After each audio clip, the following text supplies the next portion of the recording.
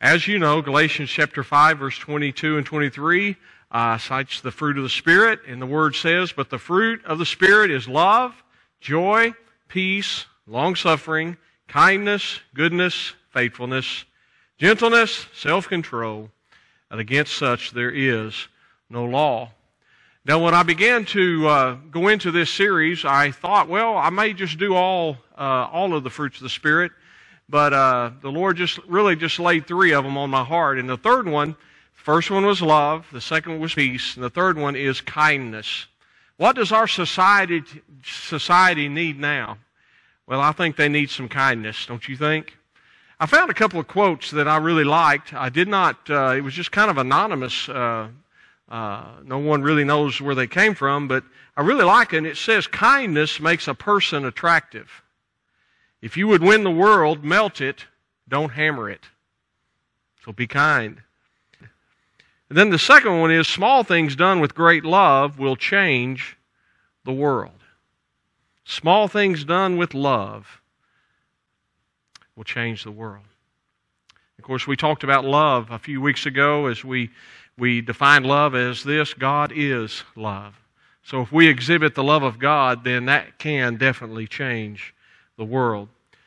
But one of the saddest trends that I see in our society and mainly in our country, because that's where I live, in our town, it's where I live and reside, is that people don't know how to be kind to one another anymore, it seems like. You ever been in one of those situations uh, on the road and you're traveling and somebody with road rage comes and gives you all kinds of signals? I've been there. They'll beep that horn at you and man, they're just angry and you can read their mouths and you can tell that they're not saying some pretty they're not saying kind things to you. But we also find it within our politicians. They have this shove it mentality. You know, I want it, you know, whatever I want, I'm going to do it. It doesn't matter uh, what anybody else thinks. Athletes, you know, you have your athletes and baseball brawls and fights and basketball games, and you have all of that kind of stuff. Your media, they have the story first, no matter uh, no matter who it hurts, and so a lot of unkind things that uh, going on uh, in our world. And I believe that our society does feel really bad. There's a lot of people that feel really bad that need to be encouraged uh, through kindness. And so we're gonna we're gonna look at that tonight, and I want I want us to think about human kindness and how important it is. Now I'm gonna I'm gonna go to the book of Jonah real quick because I want you to uh, see something. Um, I want you to see a way not to be. Okay. I mean, you could look on the board there and it says, God saw their works, that they turned from their evil way. And God relented from the disaster that He said He would bring upon them, and He did not do it. In other words, God had told Jonah to go to Nineveh, and Jonah said, I'm not going to Nineveh. So he went the opposite direction, and God brought up this fish, this great fish, to swallow him. You remember the story. He goes down deep, and he's in there for three days and three nights, and the, the, the great fish uh, vomits him out upon the, the, beach, and he runs to Nineveh. And he realizes that as he gave that, that five word speech, that five word sermon, repent, you've got 40 days to repent, and, and or if you don't, God's going to do something. Well, they did repent. And uh, God relented and God spared them. And it said this in chapter 4, verse 1 but it displeased Jonah exceedingly. He, see, he didn't like the, the Ninevites. They were a vicious people. He, had, he didn't have any kindness in his own mind, in his own heart for them. So he, uh, he became he became angry. The Bible says, and so he prays to the Lord and he says, "Oh Lord, was, was not this what I said when I was still in my country? Therefore I fled previously to Tarshish." For I know that you are a gracious and merciful God, slow to anger, and you're abundant in loving kindness. So he realized God was, was full of kindness, loving kindness, and he also realized that God was one who would relent from doing harm to them. And then this next verse is the one, man, you talk about an attitude problem. He said, Therefore now, Lord, please take my life from me, for it's better for me to die than to live. Wow. Can you imagine a prophet of God being that, that um, so displeased with a, with a country that God had told him to go and preach the word? And because they repented, He said, God, it'd be better for me just to die. Well, folks, that's not the way we need to be. Everybody that we come in contact with, we need to be showing kindness. Now, I want you to. Uh, I did. I did a little exercise with some kids, and I, I contacted my uh, two oldest grandsons, Braxton and Beckett, and I asked them the question: What is kindness? What does kindness mean? And Braxton gives this very short answer. He says, "It's God's love." And I, you know, for a four year or five year old now, that's, that's pretty, that's deep. And then Beckett, he gives a pretty good soliloquy. He gives a pretty good uh, story behind it. He said, Now, Pops said, it's when you're mean to somebody and you turn around and you apologize to them. You know what? I thought that was pretty good too. I'm thinking maybe we need to learn a few things from, from our kids. And he also said, It's when you say, Excuse me. And I'm thinking, wow, Ryan, you and Corey are teaching them manners. I appreciate that. But some other kids said, saying goodbye in a nice voice. Another one said, hugging real gentle. Another said, thank, saying thank you. Another child said, don't hit another people. I like that vernacular there. Another said, Say, saying excuse me when you bump into someone. Another said, saying I'm sorry. Another one said, and this was a four year old, said, help others when they make mistakes. That's deep. And then one said, sharing the popcorn at the movies. That's being really nice. And then one said this, and this is the last one said, You don't have to do something hard to be kind. All it takes is a simple act of kindness. Out of the mouth of babes, folks. Maybe a whole lot of adults need to, to be listening to some of that. Well, back years ago, there was a Special Olympics event, and nine runners were waiting for the start of the 100 yard dash. And the gun sounded, and off they went. And as these nine runners started, one of them fell right out of the gate and fell and hurt his knee, and he just stayed there. But what was so significant about that event was the other eight stopped. They turned around and they looked and they saw that he had fallen. And all eight of them went back to him. One of the little girls knelt down and kissed him on the knee and says, Now you'll be okay. They stood up together, all nine of them, and locked arm in arm, and they walked across the finish line to the cheers of all of the, the uh, people in the, all the spectators. Now, that is a example of kindness, going back and doing something for someone else.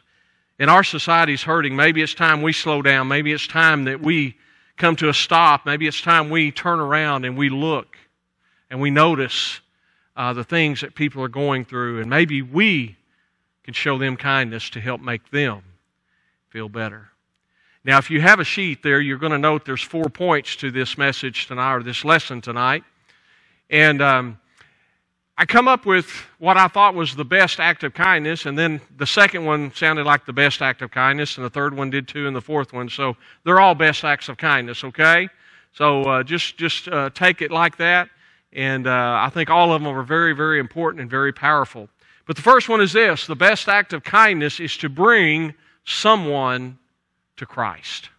Agreed? Do you say? If you agree with that, say Amen. To bring someone to Christ. I'm going to invite you to turn to Mark, Mark chapter 2, one of the great stories that we find uh, from the, uh, from the uh, ministry of Jesus. And it says here in verse 1 And again he entered Capernaum, and after some days, and it was heard that he was in the house. Immediately, many gathered together so that there was no longer room to receive them, not even near the door, and he preached the word to them. Then they came to him bringing a paralytic who was carried by four men. And when they could not come near him because of the crowd, they uncovered the roof where he was. So when they had broken through, they let down the bed on which the paralytic was lying. And when Jesus saw their faith, he said to the paralytic, Son, your sins are forgiven you. And some of the scribes were sitting there and reasoning in their hearts, Why does this man speak blasphemies like this? Who can forgive sins but God alone? But immediately when Jesus perceived in his spirit that they reasoned thus within themselves, he said to them, Why do you reason about these things in your hearts? Which is easier to say to the paralytic, Your sins are forgiven you, or to say, Arise, take up your bed, and walk? But that you may know that the Son of Man has power on earth to forgive sins, he said to the paralytic, I say to you, Arise, take up your bed, and go to your house. Immediately he arose, took up the bed, and went out in the presence of them all, so that they were all amazed, and they glorified God, saying, We never saw anything like this. Now, I'm not going to go in depth of that, that particular story. There's so many different directions we could go. But I want, you to, I want you to note in that that there were four men that made a difference in one person's life.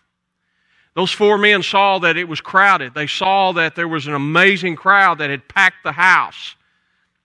Matter of fact, they had, they had, uh, people had heard that, uh, about Jesus' miracles and they wanted to see it for themselves. And so they, they would follow him wherever he went. And so as he was in this house, they came and it was such a crowd. We call it standing room only.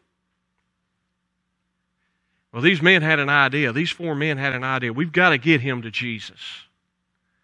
And so they walk up the steps on the side of the house and they go up and they pull back the roof a lot easier to do it in that day than it would be today. But they went and they pulled back the, the grass, the whatever it was they had on top, and they made a hole and they lowered this man down to Jesus. Why did they bring this man to Jesus? Well, not only was because they had love for Jesus in their heart, and knew Jesus could do something, but they were kind people. Have you ever just met somebody that was just really, really kind? Isn't it great to be around people like that? They're very encouraging, and uh, they just do kind things all the time. They're nice. Well, these men were that way. And you see, this man had never walked in his life. This man had never been independent. He had to depend upon somebody his whole life. But this man had at least four people who cared enough, and they showed him that they cared. How many times do you show people you care? Because you have a kind heart. Well, this act of kindness really touched the heart of Jesus. Don't you know that that's what happens when you're kind to somebody? It touches the heart of Jesus. And don't you want to do that every day? Well, in verse 5, uh, this act of kindness prompted Jesus to compliment these men. Jesus didn't let it go. He didn't overlook what these men did. He, t- he said, look at verse 5, he said, Jesus saw their faith. So he complimented them for stepping out on faith and doing something for this man. But not only did it prompt him to compliment this man, man or these men, but it also prompted Jesus to heal the man that they brought to him. And in verse 5, it says that Jesus healed him spiritually. It says there, Son, your sins are forgiven you. Now, that's the greatest healing that there is, right? And when you bring somebody to Christ, you are, you are changing their life spiritually. You are allowing the Spirit of God to touch their life and to convict their heart. And so Jesus, he healed him spiritually, but in verse 11 it says he healed him physically. He said, Get up, take up your bed, and walk. And you can imagine what was going through the mind and the heart of that man that had been a paralytic all of his life. But because four men brought him to Jesus, he was changed. But I noticed something else in verse 12. This act of kindness prompted something else. It prompted excitement in the crowd. Notice what it says in verse 12.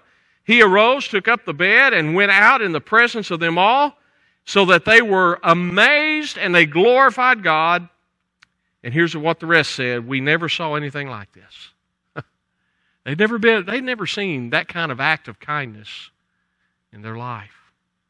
And how Jesus healed this man. Turn, turn with me to the book of Titus.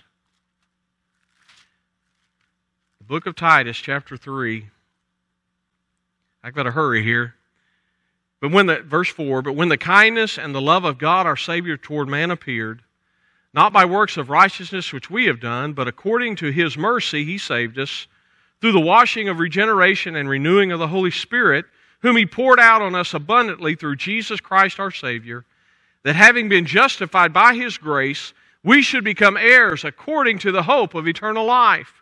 Now, verse 8 is the main verse here. This is a faithful saying, and these things I want you uh, to affirm constantly that those who have believed in God should be careful to maintain good works because these things are good and profitable to men. You being kind is profitable to men. You bringing somebody to Christ will profit their life. So, one of the best acts of kindness is to bring someone to Christ. So, what did society need that day? Did they need uh, someone to control the crowd? No. Did they need someone to repair the roof? No. What they needed was seeing somebody doing a kind deed and bringing someone to Jesus. Well, the second thing is, and I'm going to have to hurry, the best act of kindness is not to be judgmental. And if we're all honest, we have been judgmental at some point in our life, have we not? One of the most detrimental things I think you can do in life is to judge other people. And I'm not talking about fruit inspection and things like that. I'm talking about having an attitude of, of being judgmental and, and, and downing people and things like that. Well, after a church service, a little boy, and I've, I've shared this one, this one with you before, but I thought it went well with this. A little boy told his pastor, When I grow up, I'm going to give you some money. Well, thank you, said the pastor. But he said, Why? Because my dad says you're one of the poorest preachers we've ever had. Well, that's pretty judgmental. That's being judgmental. That's not being very kind. Well, we find a story in John chapter 8 that, of an incident that's not very kind. And let me read these first 11 verses to you. But Jesus went to the Mount of Olives. Now, early in the morning, he came again into the temple, and all the people came to him, and he sat down and taught them. Then the scribes and Pharisees brought to him a woman caught in adultery, and when they had set her in the midst, they said to him, Teacher, this woman was caught in adultery in the very act. By the way, Jesus is there uh, teaching in the temple, and where this is at, where he's actually teaching is in the is uh, a place, uh, the court of the women. You just have to go. We don't have time to go through all that. But the, these Pharisees and these religious leaders knew exactly where Jesus would be, and so they were going to bring this woman, and they did. They brought her, and they had caught, said they had caught her in the act of adultery. Now Moses in verse five says, "In the law commanded us that uh, such should be stoned." But what do you say? course, they're trying to trap Jesus, and Jesus is the wisest, and you know they're not going to trap him. He said this, testing them that they might have something of which to accuse him. But Jesus stooped down and wrote on, on the ground with his finger as though he did not hear. So when they continued asking him, he raised himself up and said to them, He who is without sin among you, let him throw a stone at her first. And again he stooped down and wrote on the ground. And I'm not going to speculate what he wrote, folks. The Bible doesn't say. Okay? But whatever it was, it, it challenged their hearts. We do know that. Again, he stooped down, verse 8, and rolled on the ground. Then those who heard it, being convicted by their conscience, went out one by one, beginning with the oldest, even to the last. And Jesus was left alone, and the woman standing in the midst. When Jesus had raised himself up and saw no one but the woman, he said to her, Woman, where are those accusers of yours? And has no one condemned you? And she said, No one, Lord. And Jesus said to her, Neither do I condemn you. Go and sin no more. So Jesus is appearing. He's appearing in the temple. He is teaching there. Uh, he was interrupted by this other crowd that erupted into uh, the lesson, into the court. And it was not just an ordinary crowd that erupted it into there, it was an angry mob, these religious leaders. They had what I call fierceness in their eyes. They had anger in their eyes. They had hate all over their face. They were elegantly dressed. They looked powerful on the outside. They, were well, they had well trimmed beards. They had these flowing robes. They were, if you will, the Supreme Court of that day. And so they dragged that woman through the street. And as Brother Mike preached on a few weeks ago, where was the man? Why didn't they bring him as well? They were many. Well, let me say this they were in power, she was a victim. They were many, and she was alone. They were self righteous, she was humiliated. They were mean, but Jesus was kind. You know, that to me is one of the, the, most powerful stories about being judgmental that, that you'll read in all of the Word of God. Let me t- turn to 1 Corinthians 13. You, you know this passage. Talks about love and kindness, and it's the love chapter, as we know. Verse 4 begins Love suffers long and is kind. Love does not envy. Love does not parade itself. It's not puffed up. Love does not behave rudely. I believe those men, those religious leaders, behaved rudely that day. That does not seek its own, is not provoked, thinks no evil, does not rejoice in iniquity, but rejoices in the truth. Love bears all things, believes all things, hopes all things, endures all things. Love never fails. So, folks, the best act of kindness is to not be judgmental. But number three, the best act of kindness is to meet people at their need.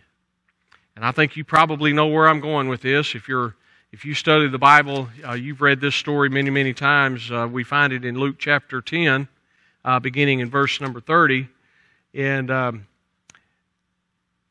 we need to read this again just to remind us that there are people that have needs and there are people that are in bad situations, and we need to be kind to these people. Says Jesus answered and said, after, after uh, he is uh, being tested by these lawyers, uh, he said in verse 30, A certain man went down from Jerusalem to Jericho and fell among thieves, who stripped him of his clothing, wounded him, and departed, leaving him half dead. Now by chance a certain priest came down that road, and when he saw him, he passed by on the other side. Likewise, a Levite, when he arrived at the place, came and looked and passed by on the other side. But a certain Samaritan, as he journeyed, came where he was, and when he saw him, he had compassion. So he went to him and bandaged his wounds, pouring on oil and wine, and he set him on his own animal, brought him to an inn, took care of him. On the next day, when he departed, he took out two denarii, gave them to the innkeeper, and said to him, Take care of him, and whatever more you spend, when I come again, I will repay you. So, which of these three do you think was neighbor to him who fell among the thieves? And he said, He who showed mercy on him. This is that lawyer. Then Jesus said to him, Go and do, and do likewise. What a powerful story. One of those uh, stories that you never forget. It never leaves your mind after you learn of this particular story. And we note that there was a man that did fall among thieves. They stripped him, uh, they beat him, they left him for dead. A priest comes by, he just walks by. A Levite comes by, he takes a look, just walks on by. But then a Samaritan. Samaritan and Jews really didn't get along. They really didn't like one another. But this Samaritan because he had a kind heart, came and made a difference in this person's life. Can you imagine when Jesus was telling that story, all of the uh, embarrassment on that lawyer's part? And he had to be embarrassed. He had to be convicted of his own heart, you know, that, man, that's what I really need to do. And folks, when we see people in need, that's what we need to do. We don't need to just walk by. We don't need to just take a look. We need to show kindness. It may be a word of kindness, it might be a deed of kindness, but some form of kindness is what we need. And I know that we have a lot of what we call panhandlers around, and, and uh, every now and then I do give some money because the Spirit prompts me to do that. But other times I've just been convicted to share a word with them or hand them a Bible, I'll hand them a testament or something some act of kindness, because that's what the Spirit of God prompts us to do. Well, Jesus said, Go and do the same. Look at Galatians again, Galatians chapter 6. verse 9 and 10.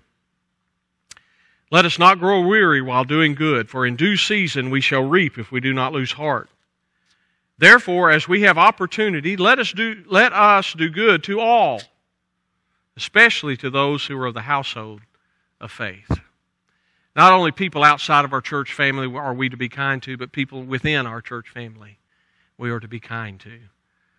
And so, an act of kindness is when you're uh, meeting people at their need. And then the fourth one is this the best act of kindness is to display Jesus. Do you want to show Jesus? I'm telling you, Jesus was compassionate. Jesus was kind to everybody. Now, he would get wrangled at the, the Pharisees and Sadducees every now and then, but he still loved them. And he still wanted them to come to a saving knowledge of who he was. So in John chapter 13, look at John 13. We'll be wrapping this up just a second. John chapter 13, verse 34 and 35, it says, A new commandment I give to you, that you love one another as I have loved you, that you also love one another. By this, all will know that you are my disciples. In other words, they'll know you're a disciple of Christ if you're displaying Jesus within your life, if you have love for one another. And then that great verse in Ephesians, you know it, Ephesians chapter 4, verse 32 says, And be kind to one another, tenderhearted, forgiving one another, even as God in Christ forgave you. So that's a direct command. Be kind to one another. There was a, um, a poem that, that I came across many, many years ago. And this poem is simply entitled Too Late. In this world of hurry and work and sudden end, if a thought comes quick of doing kindness to a friend, do it that very minute. Don't put it off. Don't wait. What's the use of doing a kindness if you do it a day too late? So each day you get up, you have a conversation with Jesus, you have your special time with Jesus, and then you tell Jesus, I want to show you today. I want to put you on display today. I want to be kind to people today. I want to show love today. I want to show peace that I have in my heart today because of what you have done in my life. And I'm going to close with 2 Peter chapter 1.